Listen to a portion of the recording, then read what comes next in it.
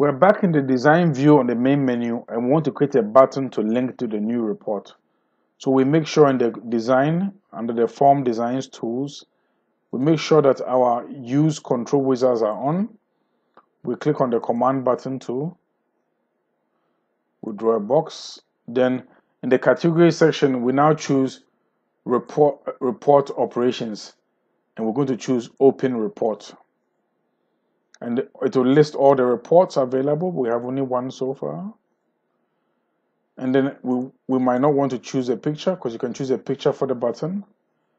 In this sense, we're going to choose a text and say um, student report. As a text we want to appear on the button.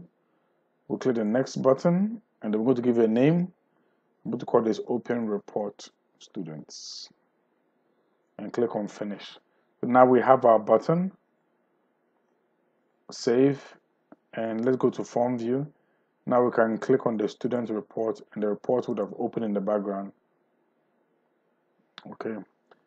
What you might want to explore further yourself is that since the the report student primary has opened up you might want to go into design of the report um, sorry design the report primary.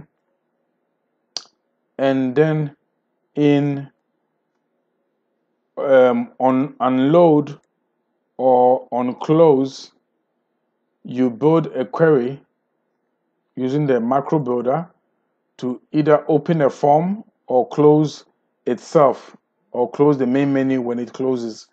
So you can do lots of combinations of these macros to do certain actions when things open, when they close, when you double click, whatever it may be.